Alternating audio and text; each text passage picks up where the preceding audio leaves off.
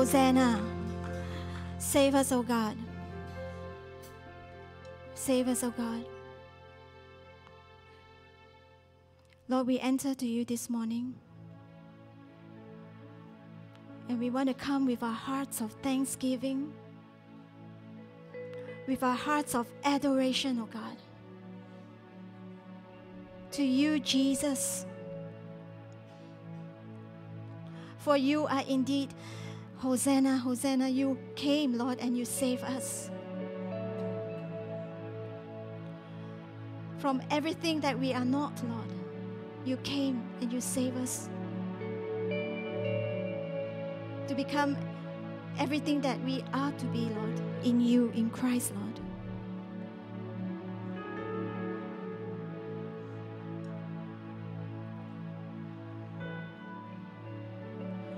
Lord, we just want to take this time, Lord, to just lift up our adoration and our praise to you, our worship, Lord. Just like Mary, Lord, seated at your feet, Lord Jesus, pouring the most expensive oil unto you. May our worship, Lord, be like Mary, giving you all our best.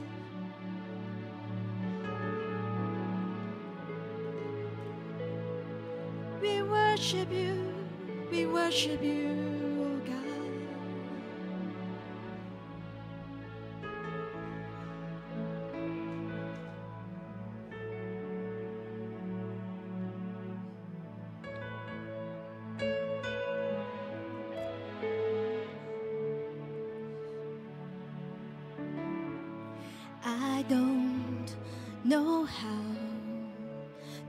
exactly how I feel. I can't begin to tell you what your love has meant. I'm lost for words.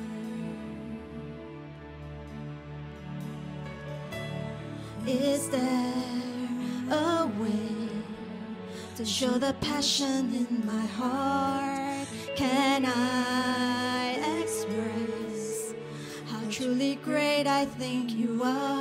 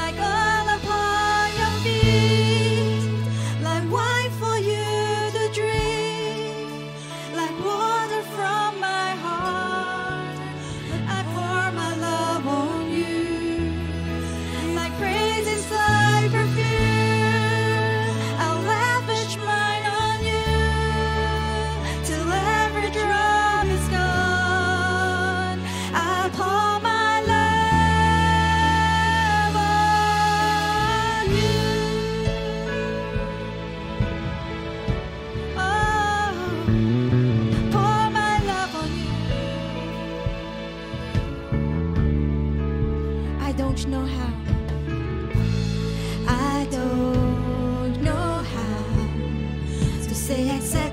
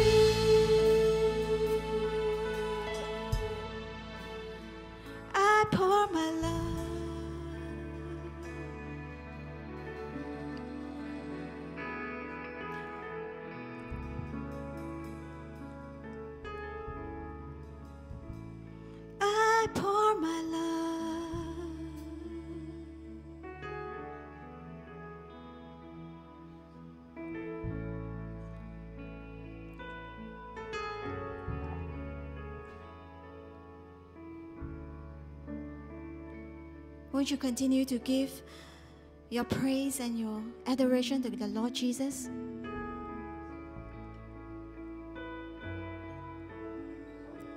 Lift up your thanksgiving to Him.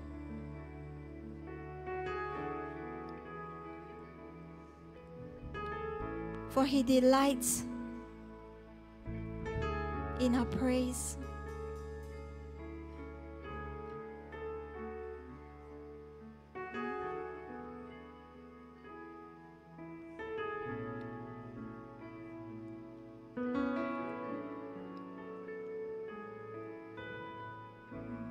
My Jesus, my Savior, Lord, there is none like you. All of my days, I want to praise the wonders of your mighty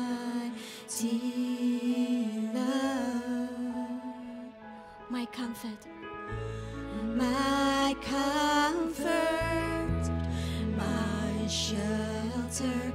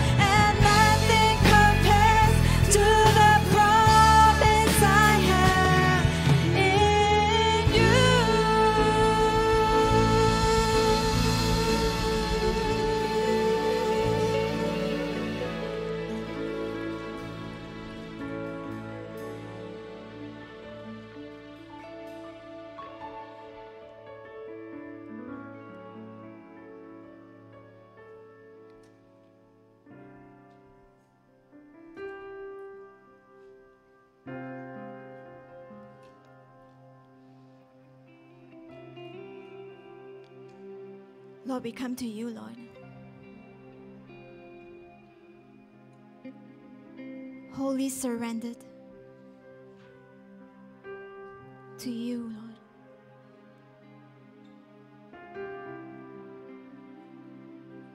Lord, if there are any struggles that we are having right now, this morning, Lord, you help us, Lord. Anything that is coming in the way from getting to know you more, Lord Jesus, we ask this morning, Lord, that you will just make a way. Help us, Lord, to come to you wholly surrendered. Pour your love unto us this morning, Lord.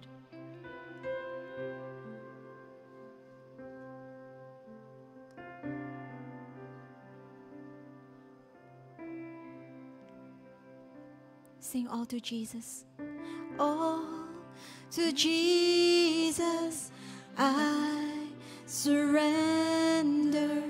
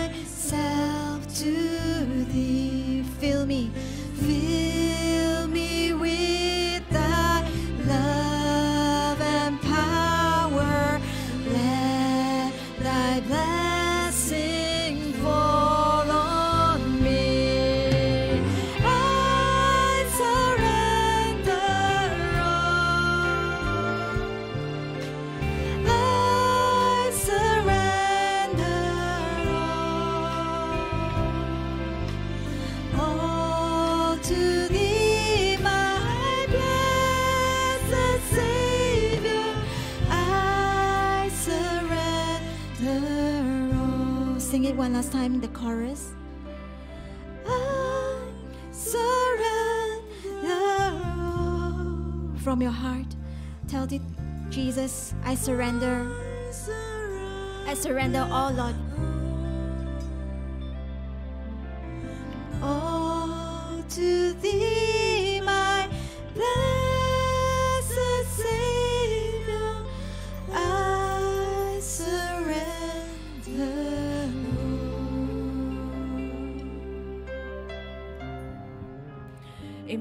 Thank you, God. Thank you, Jesus. Hallelujah. Yes, Lord. We surrender all, Lord. Lord, this is our prayer, Lord.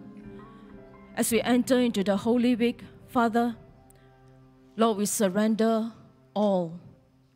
Even as you are our all in all, Lord, we also surrender our all in all before you, Lord. Father, I pray in the name of Jesus that you continue to minister to your beloved, Lord. And we stand in your presence. Thank you, God, for the ministering power of yours, Lord Father, that have touched hearts, Lord. Lord, I thank you for you are here in our midst, Lord. And today, Father, we say we are blessed because one day in your house is better than a thousand days elsewhere. God, I thank you for the gathering of my brothers and sisters here, that we continue to worship you in spirit and in truth. Lord, really, we will not allow anything to come between our sweet communion with you, Lord. God, I pray, do a deeper and greater work, Lord, that your name be lifted up and glorified, not only through the praise and worship, but Lord, throughout the whole service. May you continue to speak to us in your still small voice, that beyond any shadow of a doubt, we know your ears are never too dull, and your hands are never too short to save and deliver us, Lord.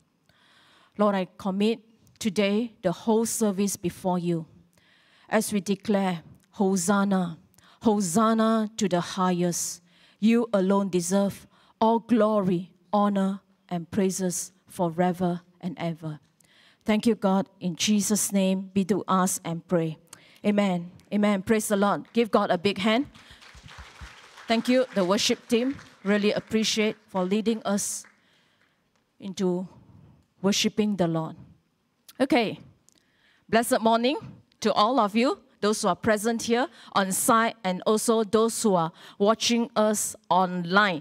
Okay, I noticed a few new faces. Sorry, I didn't get your name. If you are first time here in our midst, I welcome you to stand. Okay, let's uh, welcome our new visitors. Okay, and we will get to know you better after the service. Thank you. Okay, today marks the 15th day, okay? Corporately this season, we pray. Left how many more days? Six more days. Let's press on, continue to pray. So see you tonight. What time? 8.30 via Zoom. That's right. So let us press on as we finish the race of prayer, okay, season of prayer this coming Saturday.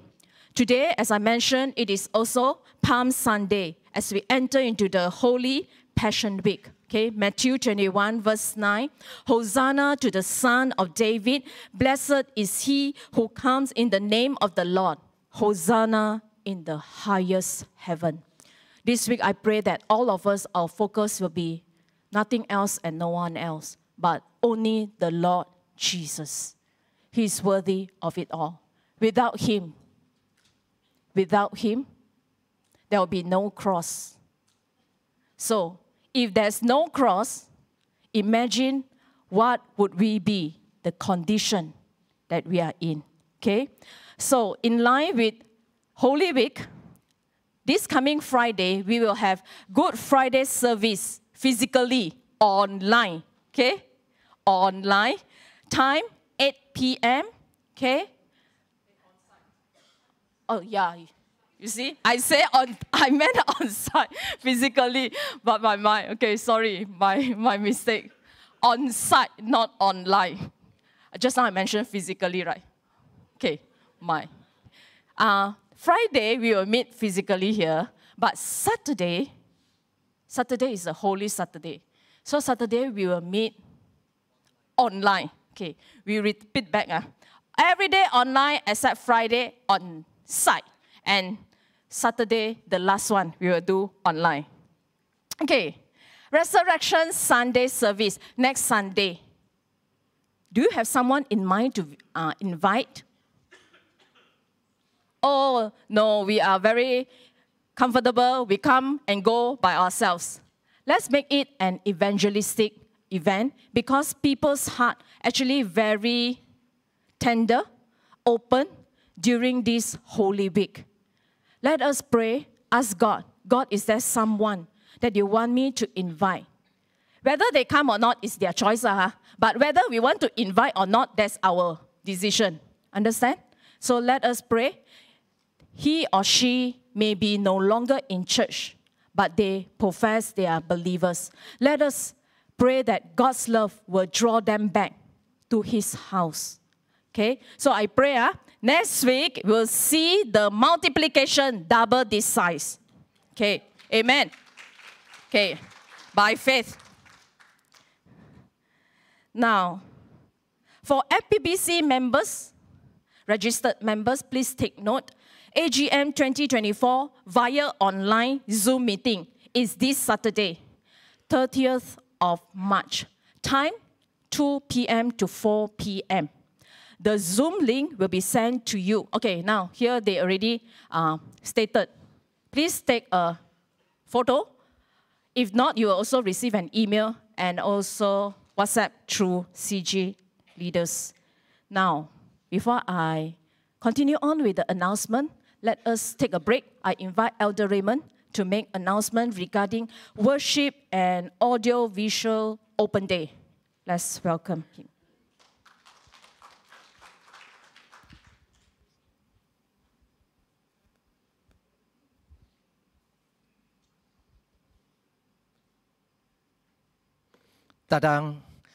Good morning, everybody. Um, so, as you can see here, um, the worship team ministry and the audio visual ministry, which is the media ministry, will be having a, an open day um, next Sunday, uh, right after service. Okay, so um, the details are there. So, what is this open day? Yeah, so um, the church has planned um, a couple of uh, programs for the rest of the year. Um, one of one of them would be like intergenerational services, okay, whereby you will see um, the entire demographics of the church, all right, um, serving the Lord in a particular service. Okay, so that will be one of the things that we will be having in the near future. Now, the other one is a big, big highlight for our church. Okay, so Christmas this year, uh, we're going to hold a very huge um, concert Okay, uh, so what, what do we have? Okay, um, planning process, yeah, so uh, pray that it will jadi, all right, pray that it will come to fruition, all right? So we will have, um, how many of you know Juwita Suwito?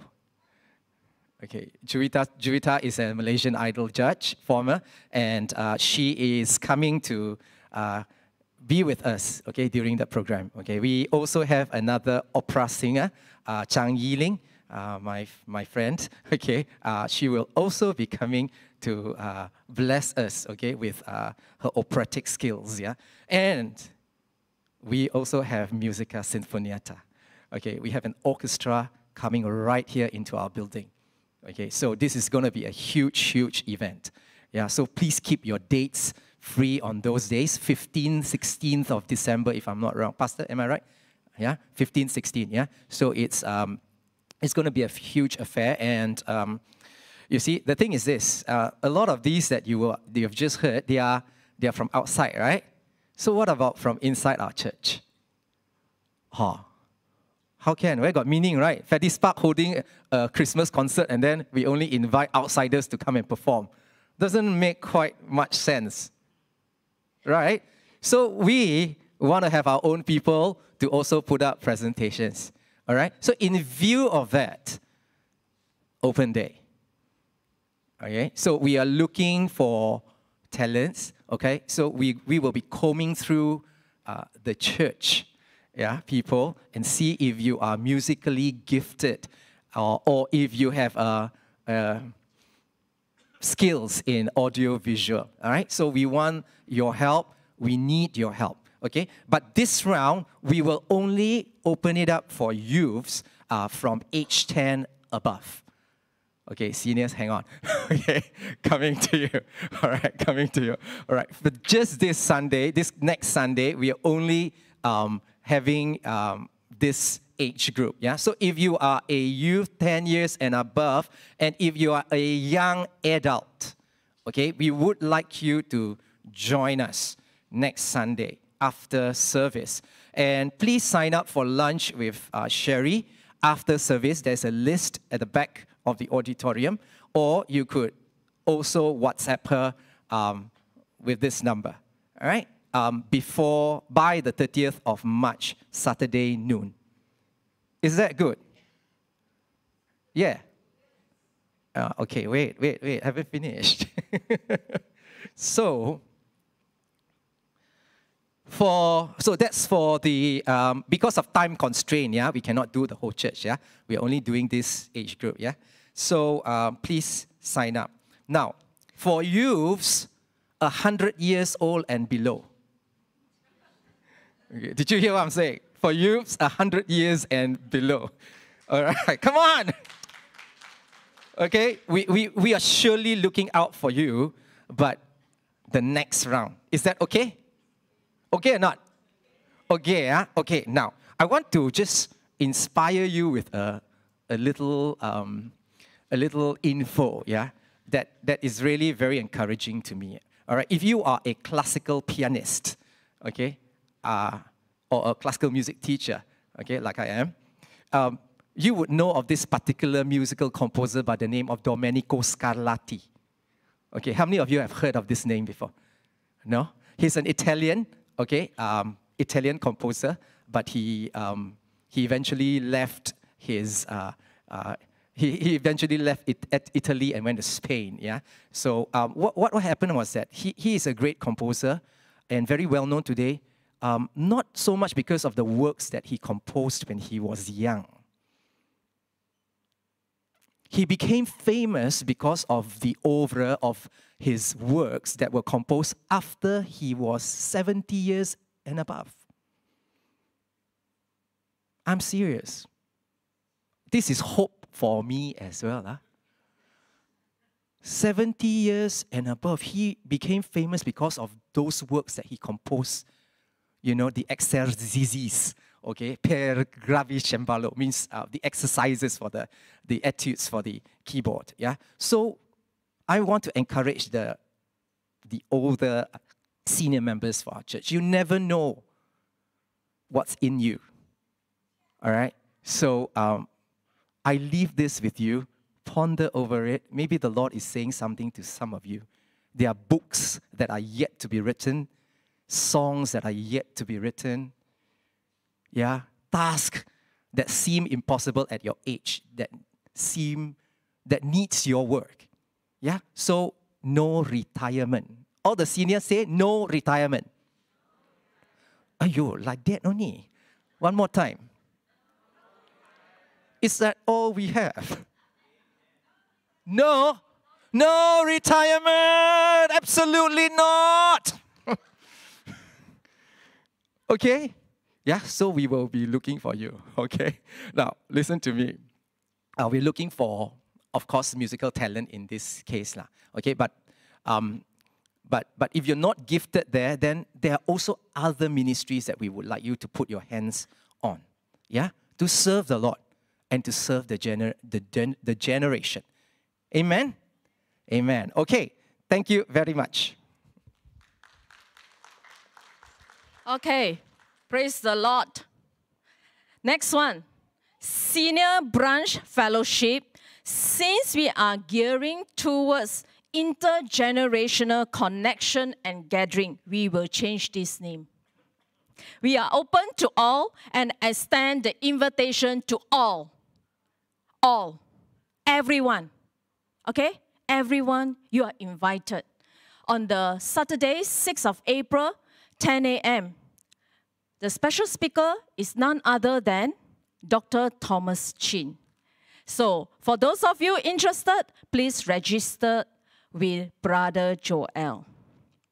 Next one. Today, full of excitement. Uh. Okay. For those who really, really, youth one, uh, really one, young people also. fires camp. How come no, no assignment one? How many of you, you have been to fires camp? Oh, one, Pastor Alvin. Very young, okay? Very young. Fires camp is back, and the team is trailblazing the future. Fires camp usually will be held during Raya break, organized by City Light Church. Okay, so here it is from Wednesday, 10th of April to Friday, 12th of April. Venue is MGS Methodist Girls School. You see, uh, normal registration is RM120. But if you use a code, I'm going to give you the code. Got it- discount one, okay? The code is big letter or MGS Fires. Then the discounted price is only 100. Okay. But let's say you team up with a group of young people. Here a lot of young people. Huh? So you team up a group of five. Further discount. 450 divide 5 means you save another $10, okay? So 90 lah. Huh? This will include three days and two nights accommodation, the food, breakfast, lunch, dinner, and the fires camp t-shirt. Volunteers needed. Really, uh, someone told me that there's no age limit to the volunteers. I say, wow, okay, very good. I think FPBC will make up most of the volunteers, right? We are very helpful, right or not? Helpful group of people. Amen. Really one. Really, I'm not trying to pull your leg. So I hope that you are senang lenang during Raya break, right? Please sign up. The link is, you know, you can, if you're interested, please, uh, you can register uh, for those youth, uh, young people, can register with Teacher Y King. Or you want the link or everything, you can see me. I have the, the link to sign up also. Okay? Understand? Yes, uh, ah, yeah. One more thing. The speaker. First of all, number one, of course, none other than the senior pastor of City Light Church, ah, Pastor Daniel Lau. He has been here before. He preached also, and he is really very, you can sense his passion for young people. Okay, Pastor Daniel Lau. And the second one, you must hear her. I heard her during the Miri tribal gathering. Pastor Sabrina Low. The church she pastored together with Pastor Rachel Bulan is called Cornerstone Community Church Borneo. They have two branches, one in Kuching, one in Miri. So they are very powerful dynamite. Believe me when I say they are really very good, but only one will come. Huh? Pastor Sabrina Low. So please uh, mark your calendar. I think here, hopefully, majority will sign up. Huh? Okay. The third one, I do not know him, lah, but I just mentioned Pastor Garrick Lee is City Harvest Church from Taiwan. Okay, three, three special speaker. So hope you all will encourage. If you know of someone, okay, that really need a revival. So Fires Camp is a three-day adventure where young people gather to have fun, of course, play games, a lot of games, and learn important life skill. The camp aims to help them grow together, build confidence, and create a positive culture of passion and friendship. You know, I've read through some of the testimonies. Some people, after the first time, they continue to participated, you know, until you know what? They reach young adult. Then they become what? Volunteer. Until no age limit. Okay? So really, this is the revival for the here and now generation. That's why I really hope that you will sign up for someone or you yourself, please sign up as a volunteers. I believe this will be a new awakening as we gear towards intergenerational community. Okay? There's no gap in reaching out. Okay? Yes. That's all for today. Let's honor the Lord with tithes and offering.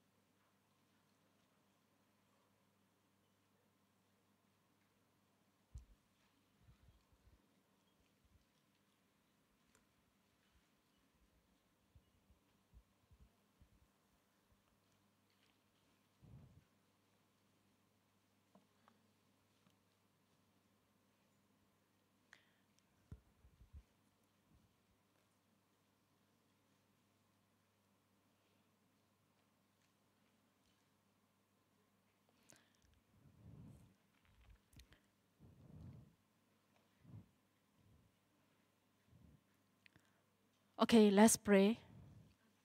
Amen. Thank you, God. Thank you, Jesus. Father, we thank you. Truly, Lord, we recognize the Lordship of Jesus Christ. We recognize, Lord, we can give because you first gave us, Lord. We can love because you first love us. Therefore, today, as we gave our all in all, as we commit our tithes and offering, Lord, may you continue to bless all this seed faith for the extension of a kingdom and the glory of your name. And I pray in the name of Jesus, this will be also, Lord Father, Lord, for the harvest to come, Lord, because we know you are doing something in the spiritual realm. Let your kingdom come, your will be done on earth as it is in heaven. Father, I thank you. I also commit, Lord, but Elder Jeremy before you. May you continue to anoint him to be your mouthpiece, Lord, line upon line, precept upon precept. Bless every ears, bless every heart, bless every life, Lord, that are presented here, that we will continue to be changed and transformed, no longer the same. Thank you, God. Thank you, Jesus. In Jesus' name, we do ask and pray. Amen. Let's welcome Elder Jeremy. Thank you, Pastor Winnie. Shalom and blessed morning. I just feel I want to read for all of us uh, Psalm 19, especially as we come before the Lord and His Word. Uh, we recognize that um, we are people of God's Word, and God's Word is central to our faith life giving and nurturing our spirits and our hearts. Psalm 19, verse 7 The law of the Lord is perfect, restoring the soul. The testimony of the Lord is sure, making wise the simple. The precepts of the Lord are right, rejoicing the heart commandment of the Lord is pure, enlightening the eyes. The fear of the Lord is clean, enduring forever. The judgments of the Lord are true, they are righteous altogether. They are more desirable than gold, yes, than much fine gold.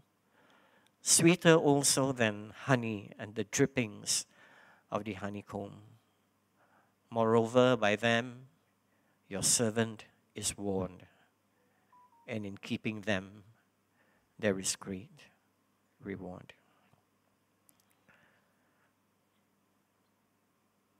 Father, I just commit myself to you now. Let the words of my mouth and the meditation of my heart be acceptable in your sight. O Lord, my rock and my redeemer. Amen. This morning, I would like to bring you all a Palm Sunday message, and the text is from the Gospel of Mark, Mark chapter 11, verse uh, 8 to verse 21.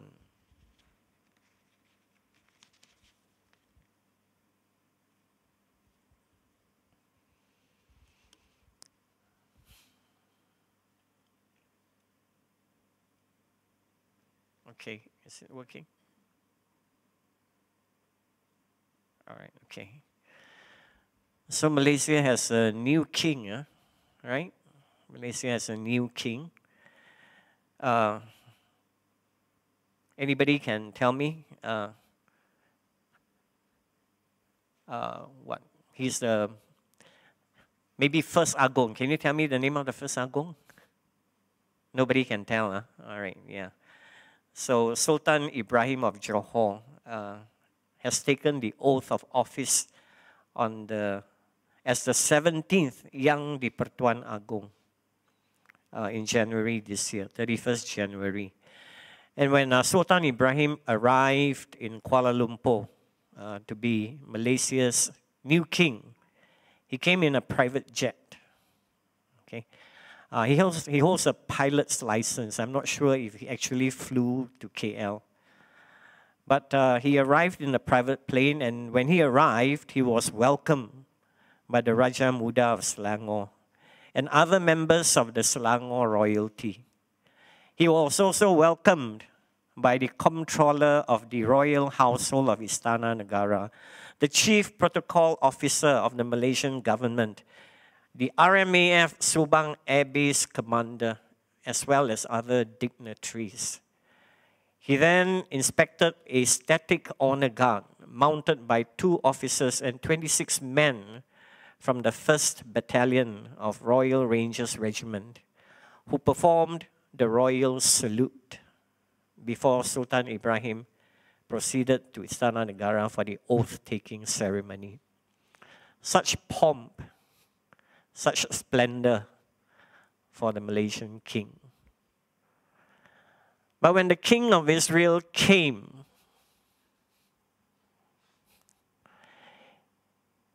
there were no private jets then, okay? But I'm sure if there had been private jets, he wouldn't have come on a private jet. He came on a donkey, not even a horse, you know. Talk about making a grand entry, right? And you come riding on a donkey. But Jesus had a purpose in doing so because he was fulfilling Old Testament prophecy. He was making a public declaration. Okay, before that, he was silent about it. But now he was making a public declaration that he was the Messiah, the King of Israel. And he fulfilled this Old Testament prophecy in Zechariah 9 9. Rejoice greatly, daughter Zion, shout. Daughter of uh, daughter Jerusalem, see, your king comes to you righteous and victorious, lowly and riding on a donkey, on a colt, the foal of a donkey. You see the conflict? Righteous and victorious but lowly. Righteous and victorious, but lowly, riding on a donkey. And of course, when he came, when he made his entry, the crowds, they went wild, right? They were jubilant. His entry was hailed by the people as the Messiah. They knew it.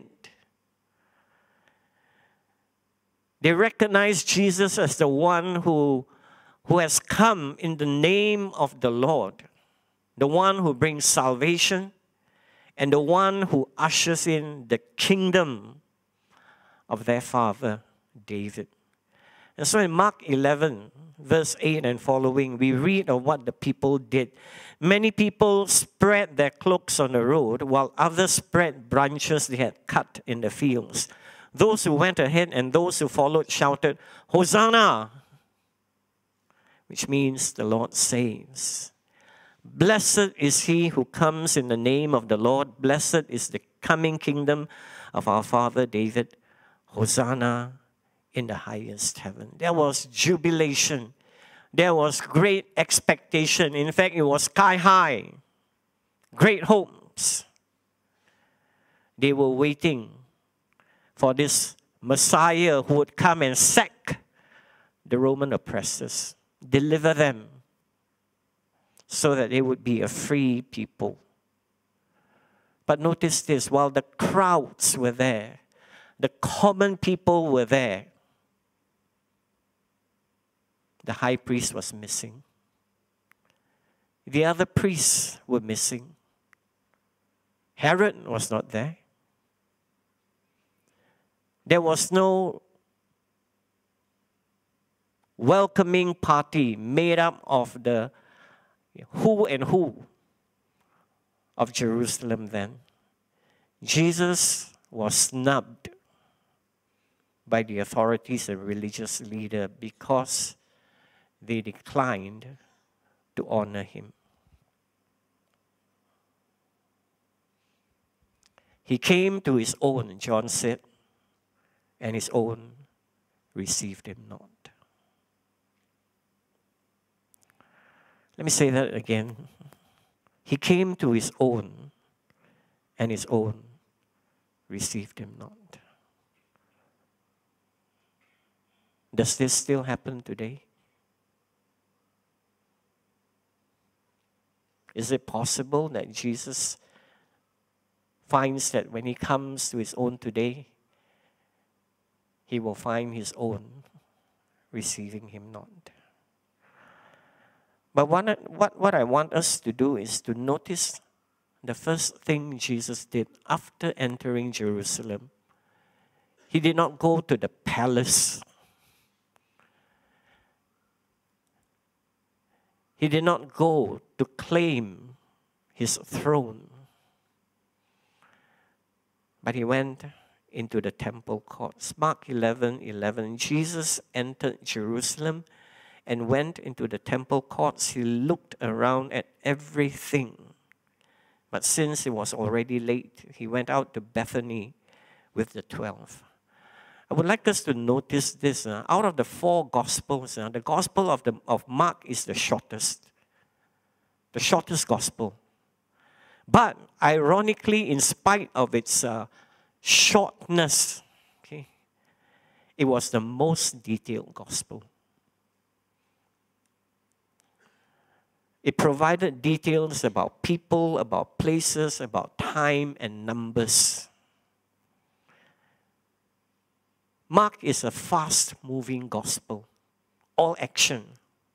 And Mark writes succinctly, very short but concise.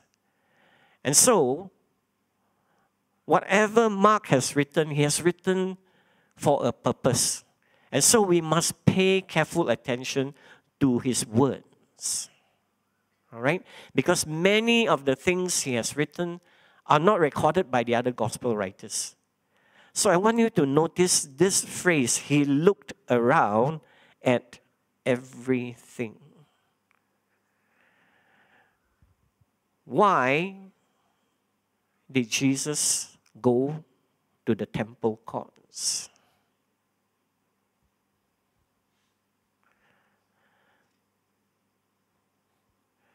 Pastor Ray C. Stedman made this uh, comment. Going to the temple courts does not sound very significant, yet it tells us what Jesus came to do.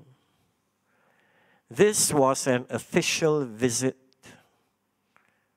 of the King of Israel. This was an official visit of the King of Israel, an inspection tour of the heart of the nation.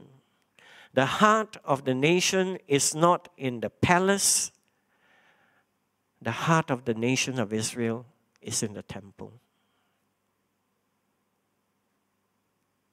And so Jesus went into the, into the temple where the very heartbeat of the nation was throbbing, represented in the worship that was lifted up to God. Temple and worship.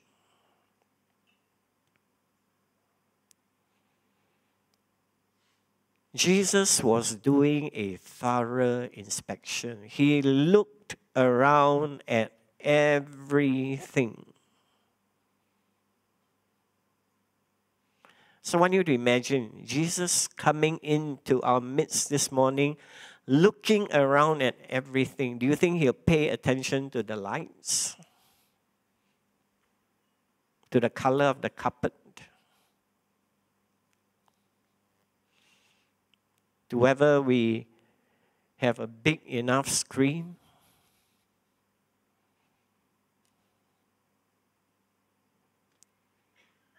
He was looking at the happenings in the temple court. And because he looked at everything, nothing, not even the, mi- the minutest detail escaped his attention. And then he left without saying a single word. He came in, he looked at everything, and then he left without a word. And he went back to Bethany with the 12.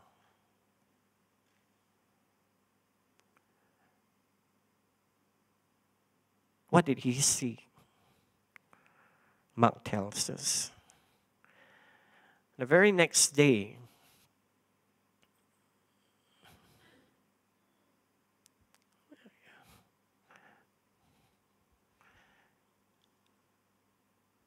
read from verse 12. The next day, as they were leaving Bethany, Jesus was hungry. Seeing in the distance a fig tree in leaf, he went to find out if it had any fruit. When he reached it, he found nothing but leaves, because it was not the season for figs. Then he said to the tree, May no one ever eat fruit from you again. And his disciples heard him say it. So from Bethany, Jesus and the 12, they were heading back to the temple. And on the way, they saw this fig tree.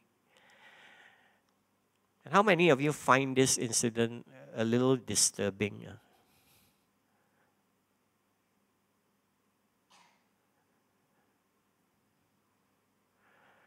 Why did Jesus curse the fig tree for not having fruits when it was not yet the season for figs?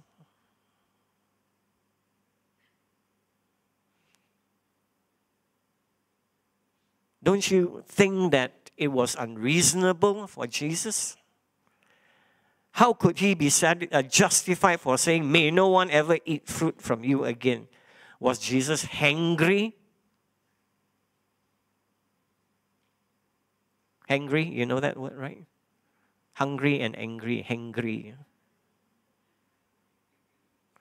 There seemed to be an unreasonableness to Jesus' action. It seems so out of character of him, the patient, the gentle Jesus.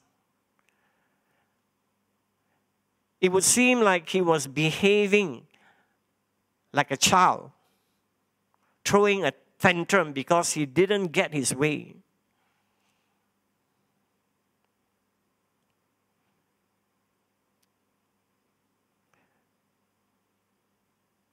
Disturbing? Not really if we understand what Jesus was doing. Again, pay attention. And the disciples heard him say it. Mark included that for us to pay attention to. So, what Jesus did was symbolic. Jesus wanted his disciples to hear the words of judgment. He wanted them to hear these words. And he intended it to be so because he wanted to tell his disciples something. He wanted to make it a teaching situation.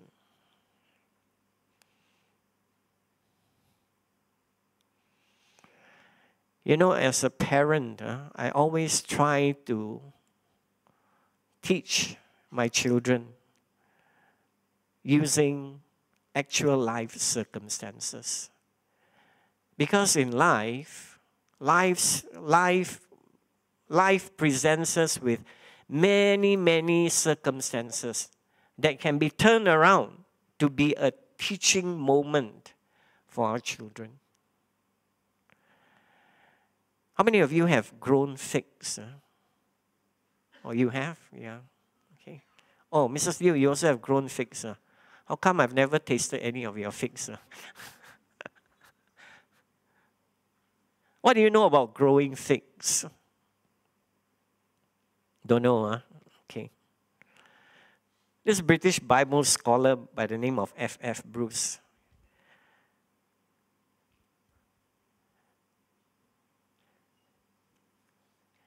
uh, we, we, we, get some insights about uh, growing figs, okay?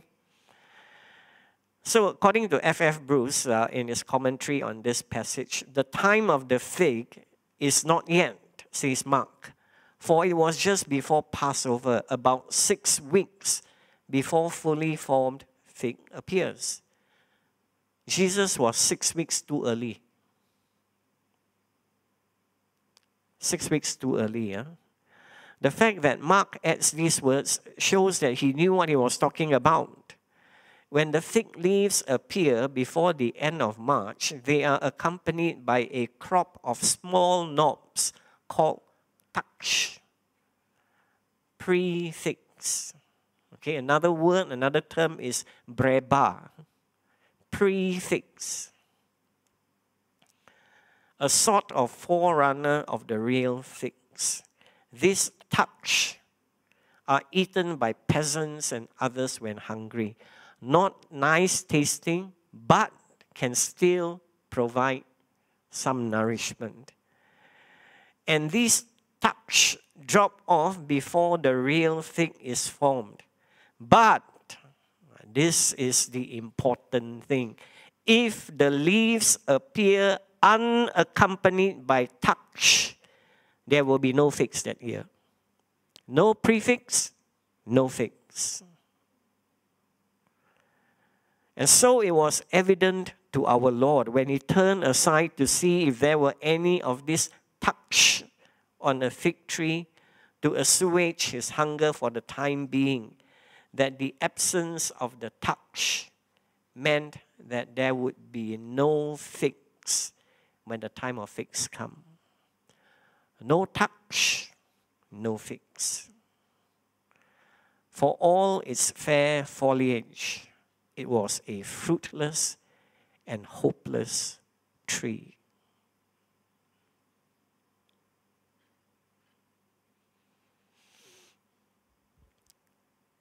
Jesus was actually teaching his disciples a real life parable. The fig tree symbolized the nation of Israel. And the hunger of Jesus was not physical, he was not hungry. He didn't want to eat figs. His hunger was spiritual in nature. And his hunger was to see spiritual fruit in the nation of Israel. And so when he went into the temple yesterday, the day before, he was looking for spiritual fruit. He was looking for that. You know, my brothers and sisters, if Jesus were to be in our midst, you know, He would be looking into our hearts.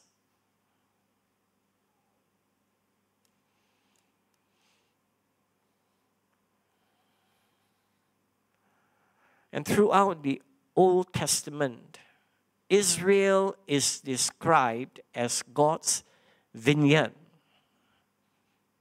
God's vineyard. Or God's planting. God's special planting. And as God's special planting, Israel must produce, Israel must yield spiritual fruit as God's covenant people. And the prophets, the OT prophets, describe God as inspecting Israel for early figs as a sign of spiritual fruitfulness.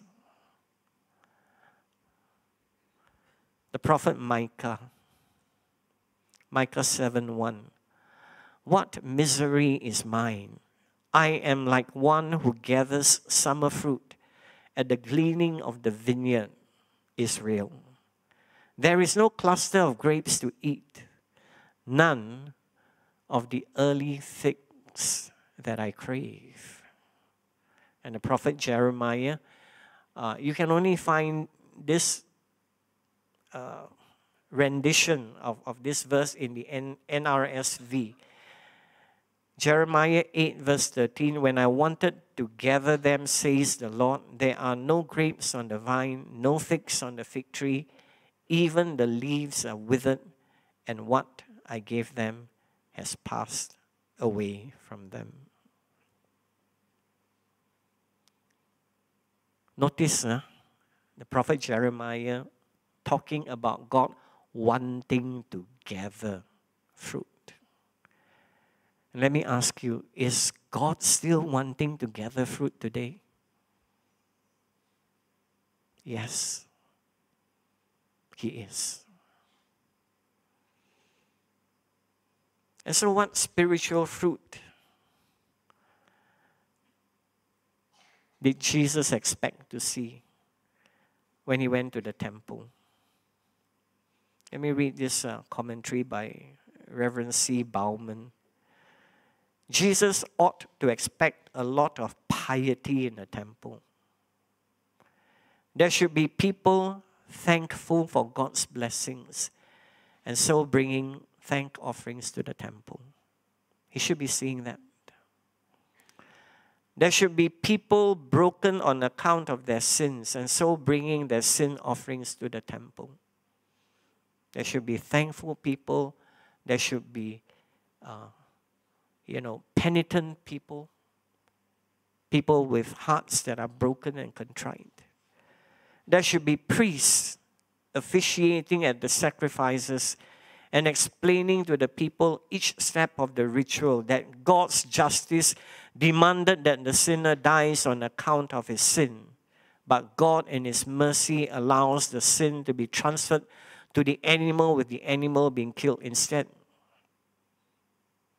The priest should be telling the people and teaching people that there is a necessity for blood sacrifice. For without the shedding of blood, there is no remission of sin. Paul says.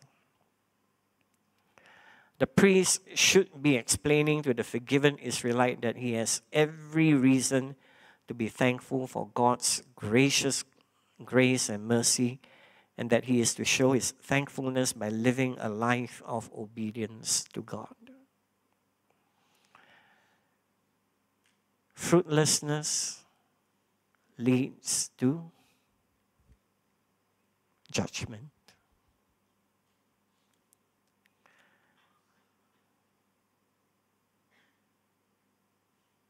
And so when Jesus went to the temple, he did something unthinkable. So, what did Jesus see in the temple courts the day before? He saw a place bustling with activities, religious activities. He saw sacrifices being made. He saw burnt offerings presented by the people.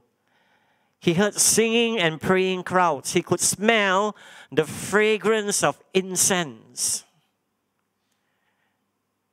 Lots of action, lots of bustle, lots of noise, but no righteousness. Leaves, but no fruit. It was all a show.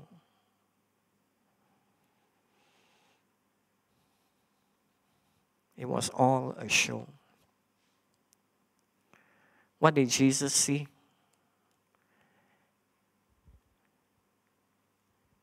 He saw commercialism. He saw money changes. He saw exploitation.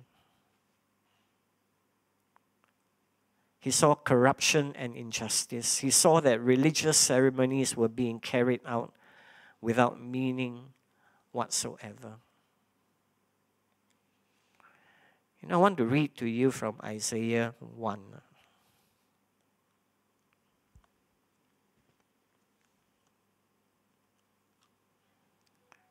You know what God said to the Israelites through his prophet? Isaiah 1 verse 12, when you come to appear before me, who requires of you this trampling of my courts? Bring your worthless offerings no more. Incense is an abomination to me. New moon and Sabbath, the calling of assemblies.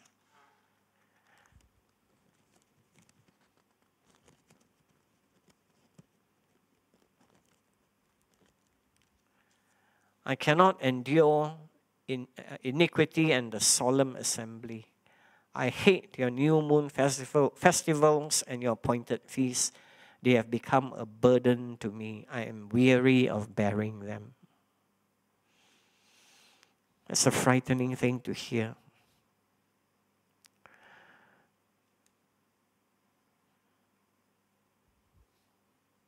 Oops. Israel has not borne fruit. And so the judge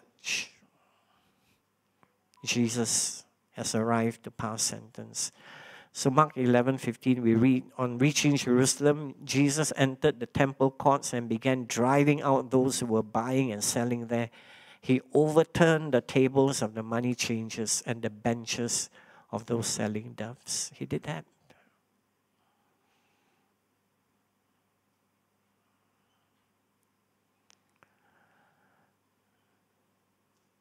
Jesus enacted another parable after cursing the fig tree.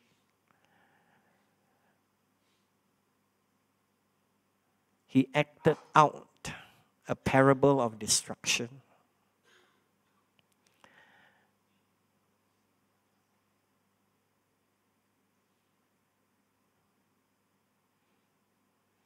You know,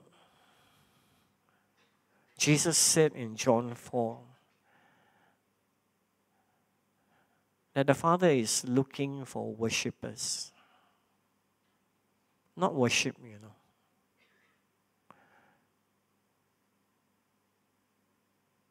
The Father is looking for worshippers.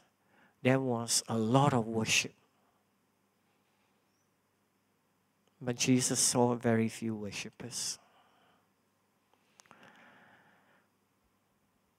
And so when Jesus overturned the benches, you know, when he uh, drove out the buyers and sellers, he overturned tables, he stopped those who were carrying merchandise, you know, everybody was shocked. And there were a lot of people. Why? It was before the Passover. Many, many people. So this is like prime time television. Prime time for Jesus. And what Jesus did was firstly this uh, He cleansed the temple from commercialism. Now, note this is the second cleansing. The first is recorded for us in John chapter 2, after Jesus turned water into wine. This is the second cleansing. Why were there traders in the temple in the first place? Traders were there because they were doing a service to the worshippers. They were selling animals as a service. The money changers were there because they were helping the people to exchange normal currency into temple currency. You cannot buy anything using normal currency, you must have temple currency. And they were making excessive profits from commercializing sacrificial offerings. Therefore, Jesus charged them by telling them, You have made the temple into a den of robbers. You have robbed your fellow brothers and sisters. Someone came up with this phrase business before prayers, thievery before sacrifices.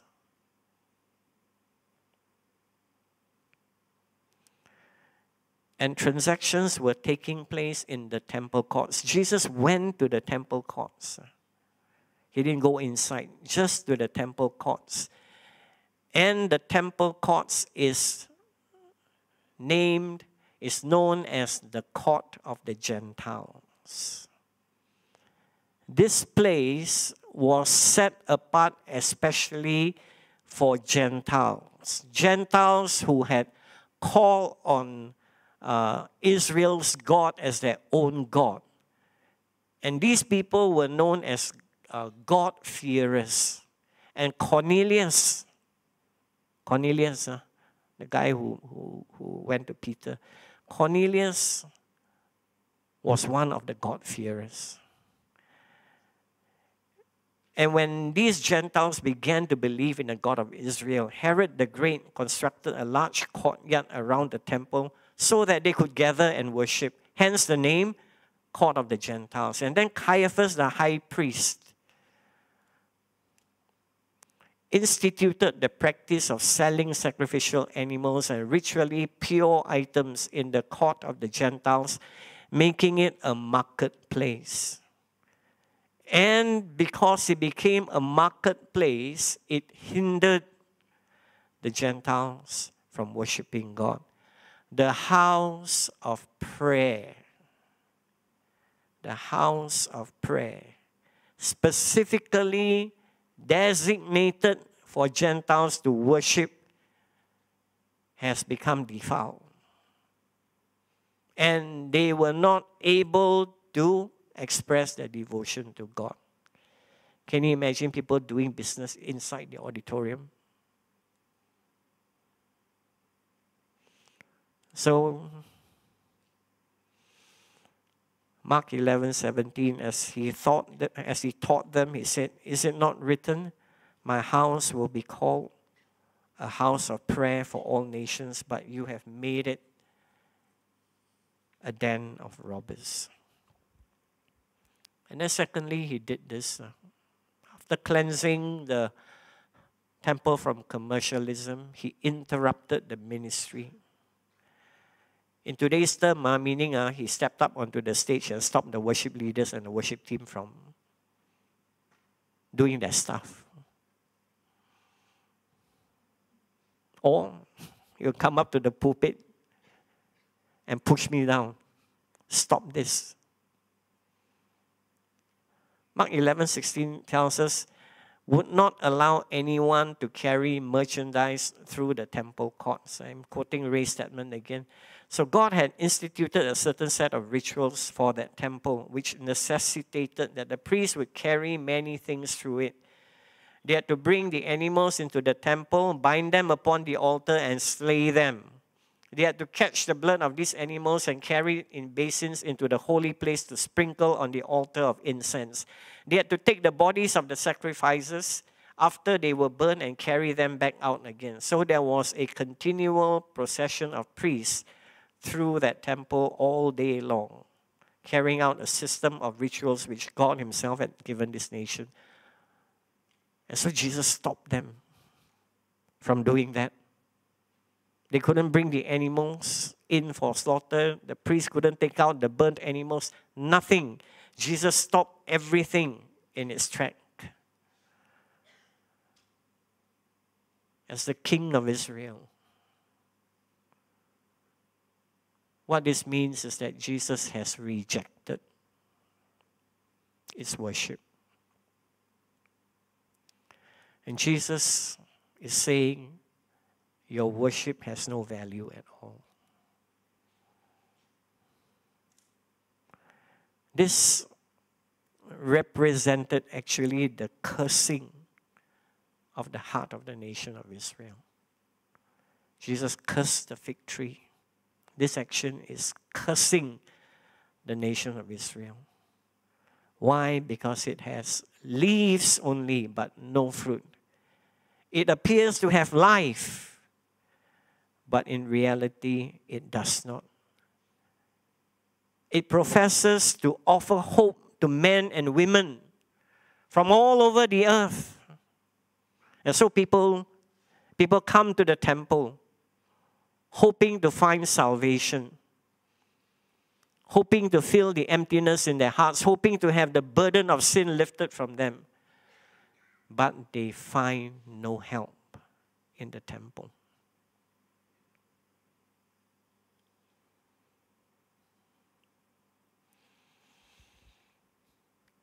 And because Jesus did what he did, it was the point of no return. The death of Jesus was sealed. The chief priests and the teachers of the law heard this and began looking for a way to kill him, for they feared him, because the whole crowd was amazed at his teaching. Before that, they were only talking about what are we going to do about this man called Jesus? What are we going to do with him? Now, they are looking for a way to kill him.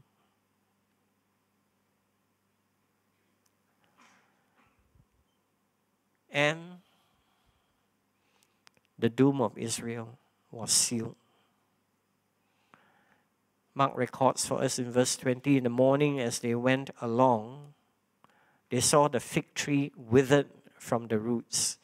Peter remembered and said to Jesus, Rabbi, look, the fig tree you cursed has withered.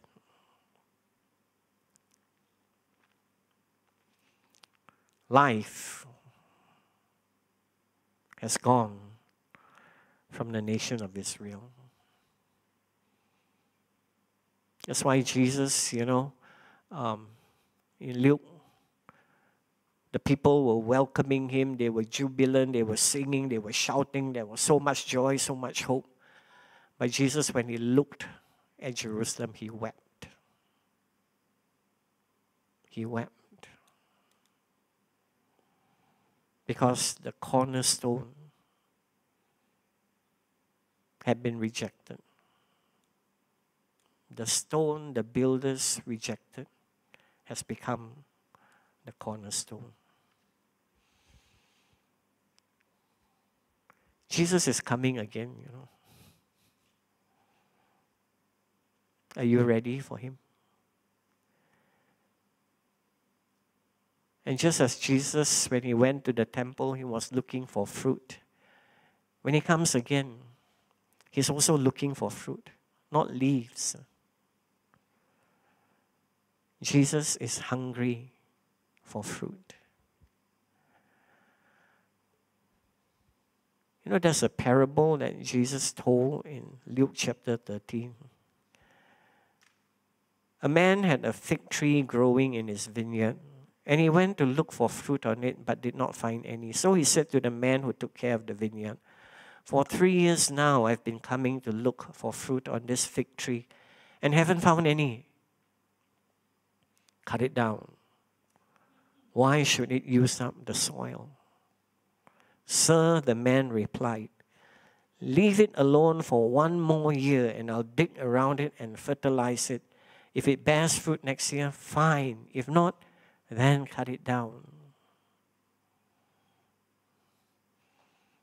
Have I told you the story about the jackfruit tree in my garden? You have, huh? How many of you re- don't, don't remember? Okay, so I'll tell you, okay? So, so when I move in, when, when we move into our current uh, uh, house, um, there was this jackfruit tree in the front garden, okay? And uh, the, the, the previous occupants uh, told me that uh, his daughter had planted the tree from seed, okay? But never bore fruit, you know, never bore fruit, you know. And it was just growing taller and taller, lots of leaves, but no fruit. So uh, the contractor who was doing some renovation at my house, I told him, cut it down now, you know. Don't want it, you know. But one of the workers was like this man in verse 8. He said, No, no, no, no, no. Let me just trim.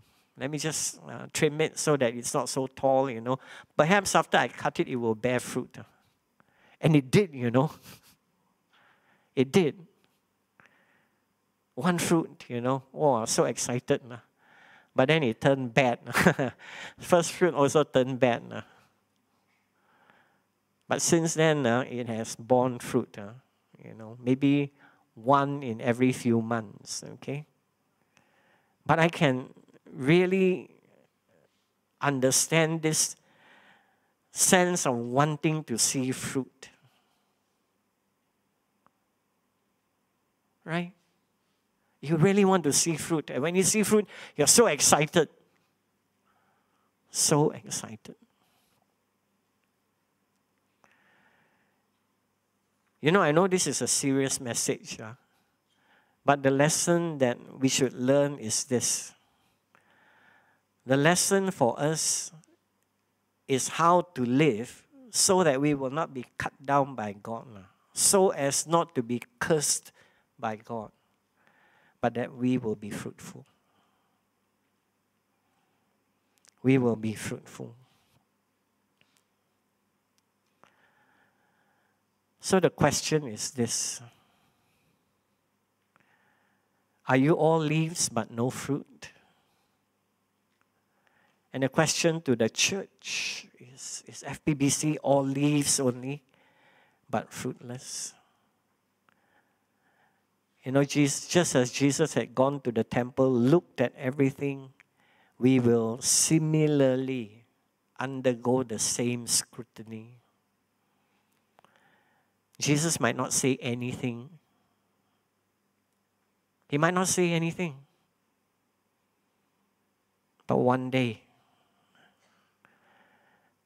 as Luke 13 tells us, the axe will fall. The axe will fall.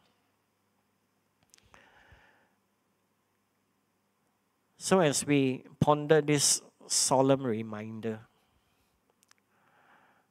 I want us to, to really ensure two things, okay? Number one, make sure that we are fruit bearing disciples of Jesus Christ. Make sure you are bearing fruit. Okay? And the first type of fruit is this is the fruit of repentance. Very important. I think Pastor Alvin has been teaching uh, the growing deep group about repentance. Luke 3 8, we are told to produce fruit in keeping with repentance. There must be a change. There must be evidence that we have repented of our old lives. We have left our old lives. That we have become a new creation in Christ. We are new, born again. We must show that. And then, secondly, because God has given us the Holy Spirit, we must do more than just bear the fruit of repentance, we must bear the fruit of the Spirit. We can see the character of Christ being manifested in us. Are you growing in love towards God and towards people? Are you? Am I? Am I a joyful person? Having joy, the joy of the Lord? Not merely happiness because circumstances are good, but do I have joy? Is joy, uh, uh, uh, you know, uh, a, a, a, distincting, a distinct feature in our life? Peace, forbearance. I like to say that I'm a patient person, okay? Except when I drive, okay? but then when I drive, every time I drive, I'm reminded, you know, oh, by God, you, you really need to work on patience.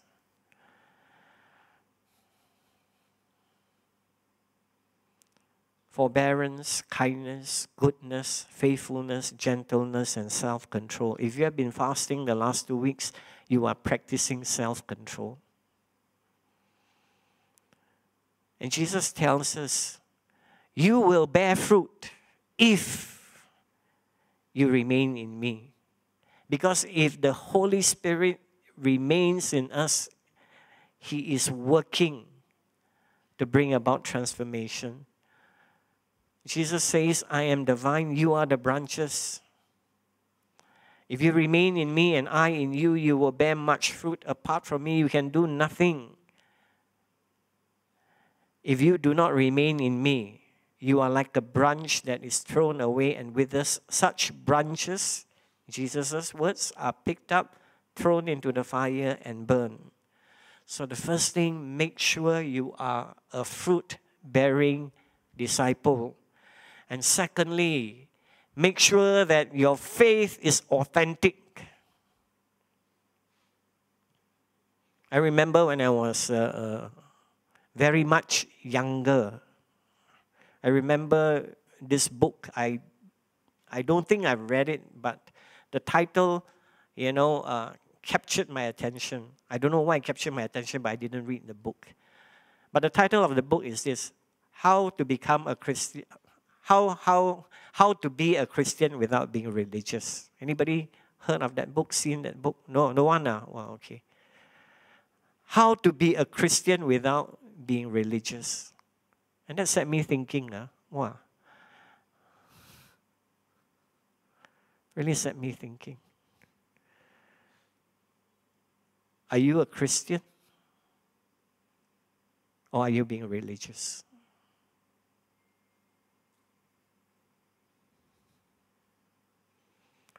You know, Jesus challenges us to move beyond outward appearances.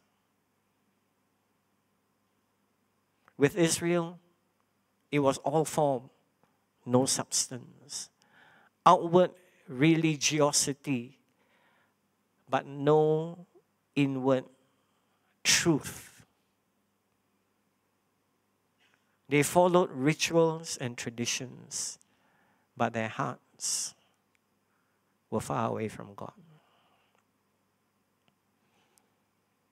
And Paul, when he wrote to Timothy, he said, you know, have don't have anything to do with people who have a form of godliness that denies its power.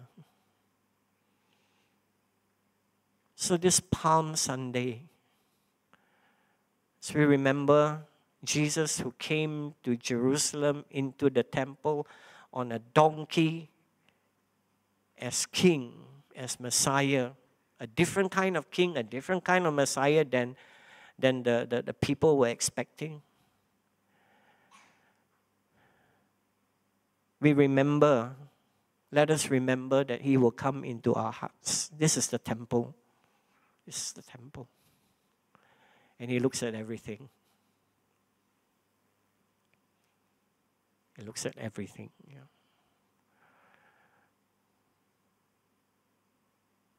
So let us ensure that we are really bearing fruit. You know, the kind of fruit that Jesus is looking for. Fruit that will last for all eternity. And that our faith is genuine, authentic.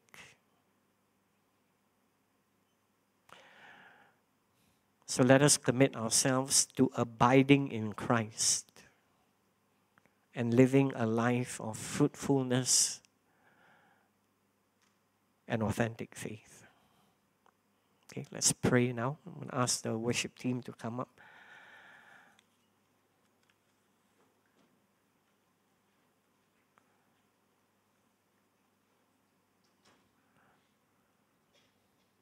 Let's sing again the hymn, uh, All to Jesus I Surrender.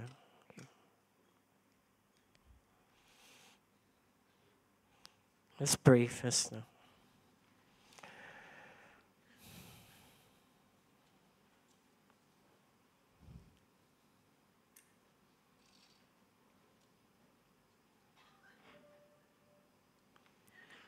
Lord, in Psalm 19, we are reminded, O oh Lord, that by your word, your servant is warned. And today, Lord, as we looked into the Gospel of Mark,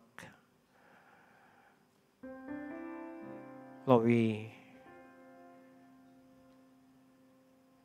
are given this very somber reminder that, Lord, you you look beyond outward appearances.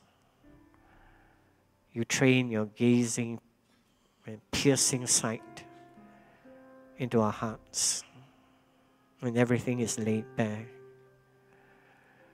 My Father, your, your intention, Lord Jesus, your intention is not to make us feel condemned and guilty, but to tell us, to remind us of what's really important it is not about coming to church. It's not about doing quiet time. It's not about giving our times. It's not about attending cell group. It's not about all the religious forms and activities that we do. It is about the heart and the motive.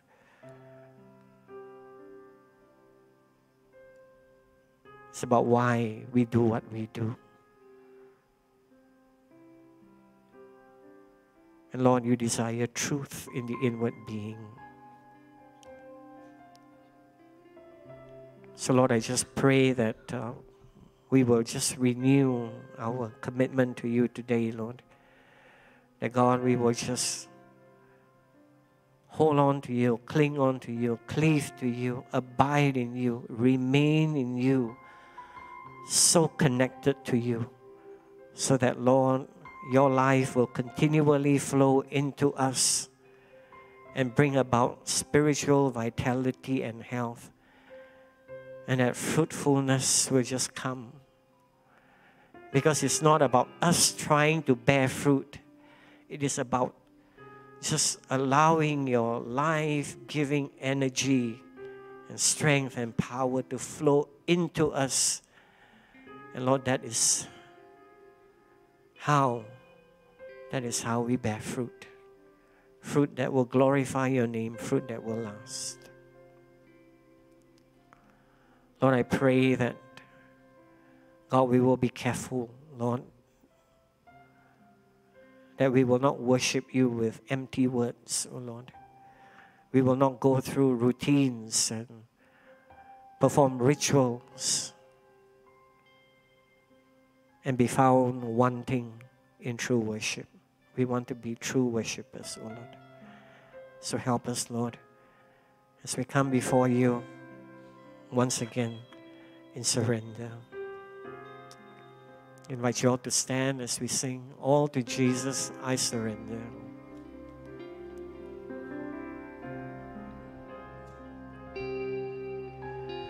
All to Jesus I surrender.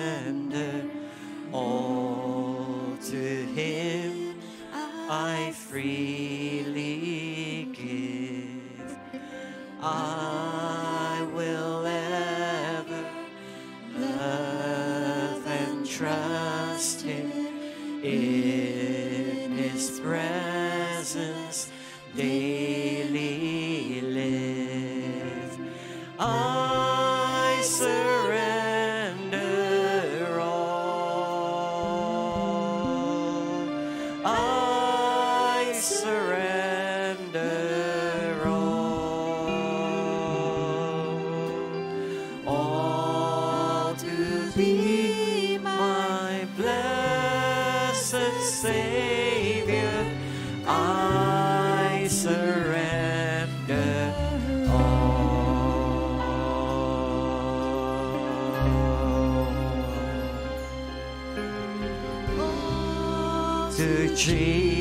Jesus I surrender.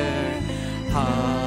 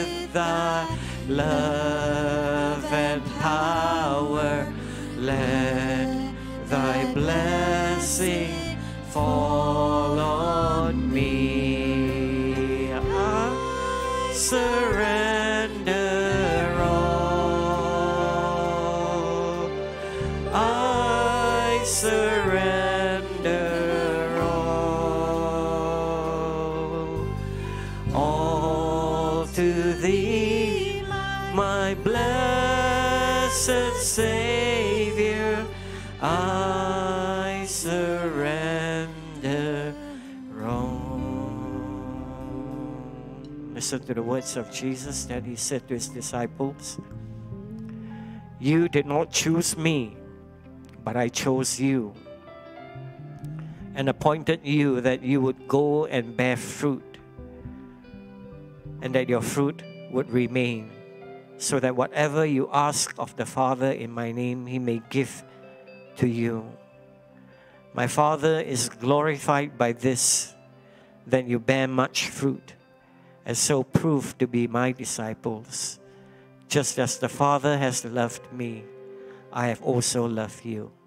Abide in my love. If you keep my commandments, you will abide in my love, just as I have kept my Father's commandments and abide in his love. These things I have spoken to you, so that my joy may be in you, and that your joy may be full. Lord, I pray you bless your people and dismiss them with your presence, O Lord. And God, may we all take seriously this command of Jesus to go out and bear fruit and bring pleasure to you. In Jesus' name. Amen. God bless all of you. See you all again next week.